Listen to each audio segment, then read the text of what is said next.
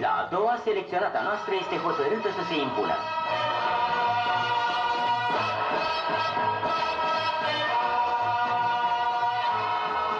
În minutul 59, cu capul 1 la 0, pentru putem afirma că așa numitul complex Zurich